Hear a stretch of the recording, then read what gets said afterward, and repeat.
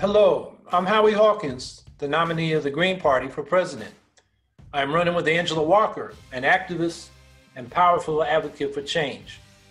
Together, we have taken up the progressive policy mantle once carried by Bernie Sanders, the same mantle that was tossed aside by Joe Biden. Biden opted for more conservative policies that have hurt working class people for decades. Biden, who pushed the Trans Pacific Partnership and virtually every other disastrous trade policy, which sold off American manufacturing and devastated white collar jobs as well. Biden, who pushed for Wall Street deregulation and massive cuts for the wealthy, for horrific wars like the war in Iraq. He is truly no friend of working people. Our campaign supports Medicare for all, a Green New Deal, college opportunity for all, ending the drug wars, and stopping this new insane nuclear arms race, which is a life or death threat to all of us. Our platform champions criminal justice reform, a new vision that would see justice and accountability in our legal systems.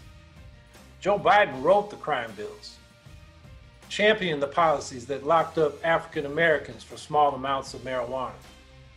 Biden's record on criminal justice has been hidden by the mainstream media and by Democratic operatives.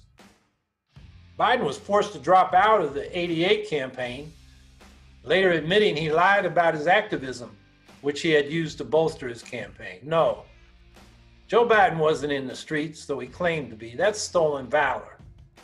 He was once described in Congress as being to the right of then President Ronald Reagan in regard to the war on drugs and policies on policing.